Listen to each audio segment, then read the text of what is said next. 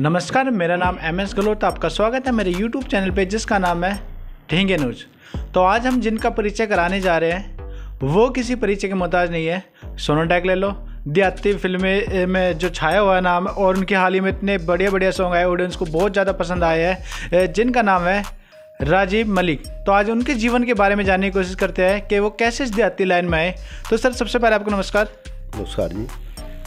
तो राजीव जी बताइए आप हमारे दर्शकों के आपका देहाती फ़िल्मों में कैसे आना हुआ? भाई उत्तर कुमार जी की फ़िल्म देखी थी दागड़ छोरा तब से ही मेरी भी इच्छा हुई कि हम भी फ़िल्म बनाओगे तो जैसे कि बात की जाए राजीव जी जब इंडस्ट्री में उतरते हैं तो बहुत सारी समस्याओं का सामना करना पड़ता है। जैसे कि भाई आ, आपके लोगों ने कहा होगा आपके मोहल्ले पड़ोसों ने कि हाँ भाई ये हीरो बनेगा या ये ये बनेगा वो बनेगा। आपका मज़ाक भी उड़ाया गया होगा। तो किन किन समस्याओं का आपने सामना किया? भाई ये सबको बता फ़िल्म लाइन में ये आदमी सक्सीज हो गया तो उसका स्वागत होगा। अगर वो सक्सीज नहीं हुआ तो उसकी मज़ाक ही उड़ेगी।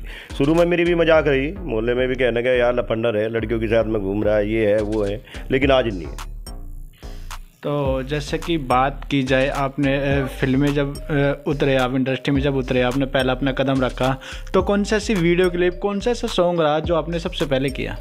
सबसे पहले मैंने मानवी फ़िल्म प्रोडक्शन से करा था माँ की ममता सॉन्ग जो सोनोटेक को दिया था। आज से करीबन सात साल पहले दिया था वो।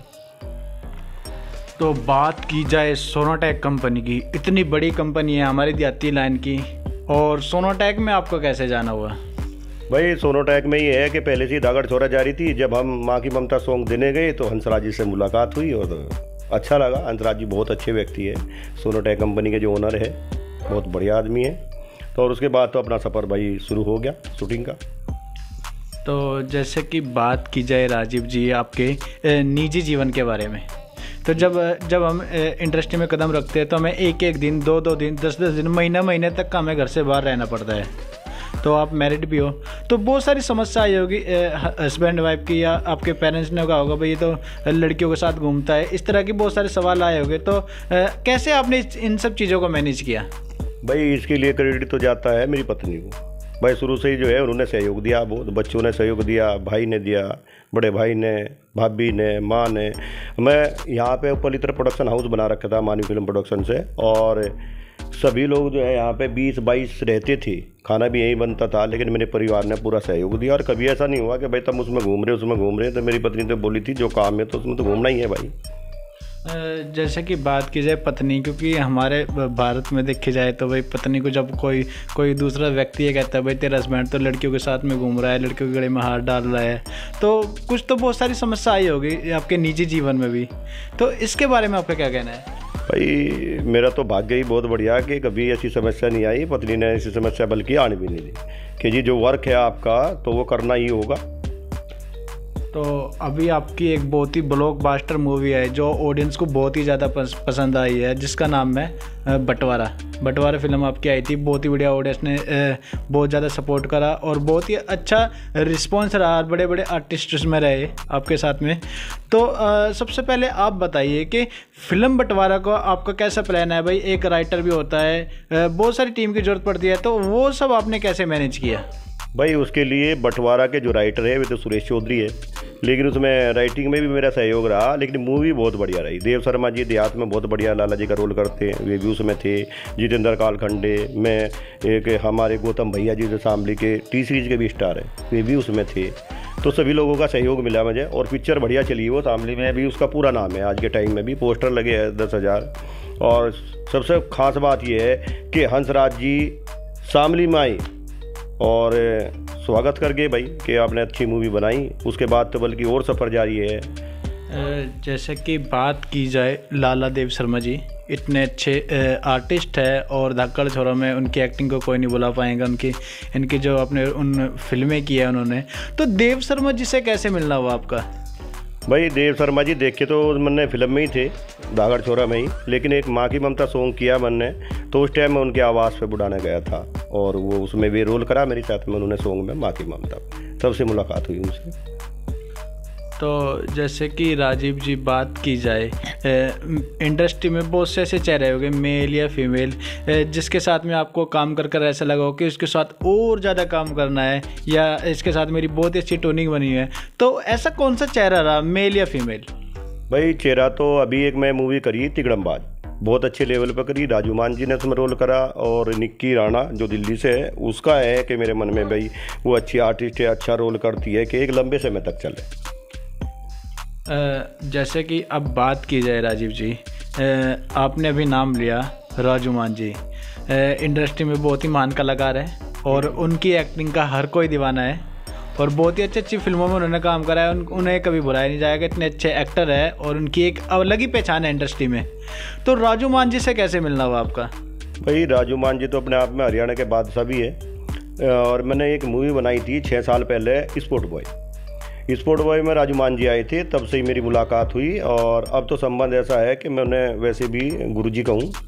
तो भाई बहुत अच्छे व्यक्ति। चंद्रावल उनकी स्टार्ट हुई थी स्टार्टिंग बल्कि शाहरुख खान जी की एक मूवी थी जो कि शायद किसी ने सुनी भी ना हो उसमें राजू मान जी ने ही शायद उन्हें रोल दिया था। दिल्ली दिल्ली में शूट हुई थी दिल्ली में। अधूरी ज़िंदगी। उसका नाम हाँ अधूरी ज़िंदगी है जिसमें राजू मान जी ने भी रोल करा शाहरुख खान जी ने भी रोल करा। तो भाई तब से जुड़े ये लोग वे तो बादशाह लोग हैं।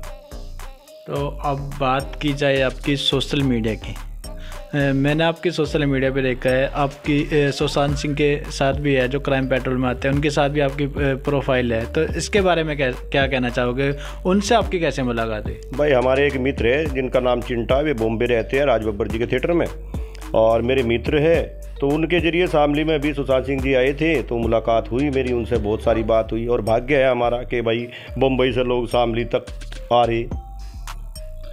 और राज बब्बर जी से भी आप मिले हो हाँ, तो हाँ, उनसे कैसे मिलना हुआ? राज बब्बर से किसी पार्टी के उसमें कैराना आ रहे थे तब मुलाकात हुई। बहुत अच्छे एक्टर है भाई मैं फ़ैन तो धर्मिंदर का हूँ लेकिन वे भी बहुत अच्छे एक्टर हैं।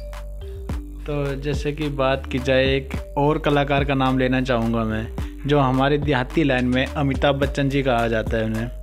आदरणीय श्री उत्तर कुमार जी। तो उत्तर कुमार जी से कभी मिलना हुआ या उन, उनके साथ काम करने की कभी इच्छा हुई मन में कि भाई हाँ इनके साथ भी काम करना है? भाई, मेरा तो देखो, शुरू से ही खुद का प्रोडक्शन रहा। मैंने खुद ही अपने लिए काम करा। अभी एक चैनल था, मन मूवीज़ वो ग्रुप में हमने खोला था। उस पर बल्कि पिछहत्तर वीडियो थी मेरी।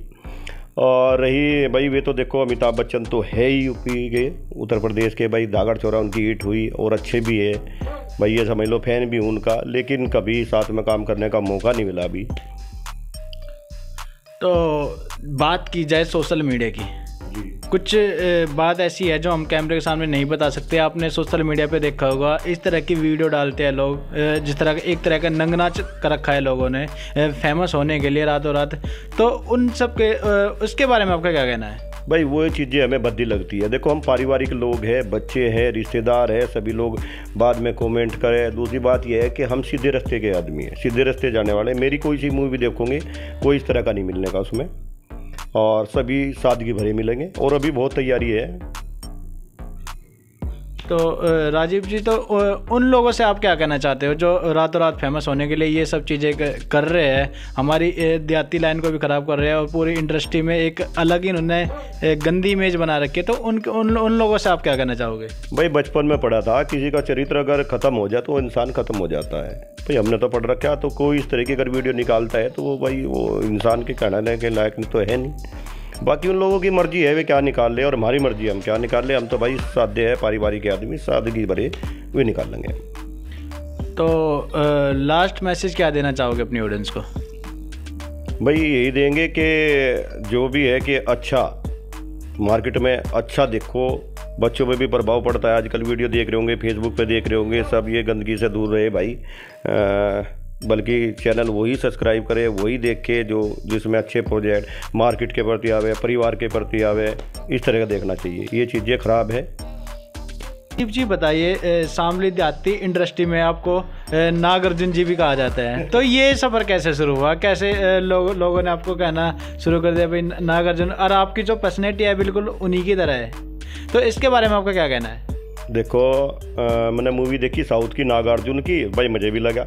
कि वाकई शक्ल मिलती है। दूसरा, जो भी कोई व्यक्ति सूट पाता है, ये कह ले अरे, नागार्जुन तो भगवान का शुक्र है भाई कि भाई इतने बड़े आर्टिस्ट का चेहरा मिलता है। हम तो लोग देहाती है, वे तो खैर साउथ के बहुत बड़े व्यक्ति हैं।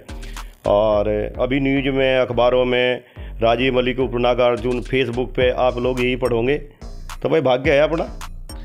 तो जैसे कि बात की जाए आपके निजी जीवन के बारे में तो किन किन लोगों का आपको सपोर्ट रहा? आज इतने बड़े मुकाम पर आज पहुँचे हो आप। सपोर्ट भी आपको बहुत लोगों का रहा होगा इंडस्ट्री में। भाई, देखो, सबसे पहले तो मेरे परिवार का। बहुत सपोर्ट रहा, मेरी ससुराल थे बहुत सपोर्ट रहा, एक हमारे साले साहब है, सुनील जी, उनका बहुत सपोर्ट रहा। शायद उन्हीं की प्रेरणा से आगे बढ़ रहा मैं। अभी मेरी एक मूवी करकाया में, मेरठ में परिवार। जो कि चंदन फ़िल्म प्रोडक्शन से है, बहुत अच्छी मूवी है, वो भी आने वाली। तिगड़मबाज वो भी अगले महीने आने वाली। और एक गाना है, अभी पिछले हफ़्ते शूट हुआ था, अंगूठा छाप, वो भी आने वाला है। प्रोजेक्ट बहुत है मार्केट में। और भगवान ने चाहिए आगे पॉइंट टू पॉइंट हम लोग करते रहेंगे। तीन चार मूवी की तैयारी है। भाई, नाम तो नहीं खोलते, नाम जो है आप पढ़ ही लोगे आगे जा फ़िलहाल अगले महीने हमारी तिगड़मबाज मार्केट में आ रही तो एक सवाल और पूछना चाहूँगा सर आप आप आपने मे, मेरी भी कॉल नहीं उठाई तो इसके बारे में क्या कहना चाहोगे? भाई थोड़ा सा बिज़ी रहे। थोड़ा देखो फ़िल्म लाइन के शौक के साथ में परिवार का भी ध्यान रखना पड़े थोड़ा भागा दौड़ रहे तो फ़ोन में कम ही उठाऊँ। वैसे मशहूर हूँ मैं फ़ोन कम उठा करूँ। तो आज अपने राजीव मलिक जी के बारे में जाना है। तो कैसा लगा आपको राजीव मलिक जी के बारे में जानकर? प्लीज़ लाइक करें कमेंट करें। कैमरामैन सोनू सूद के साथ एम एस ग्लोडिंग जय हिंद जबरद वंदे मातरम।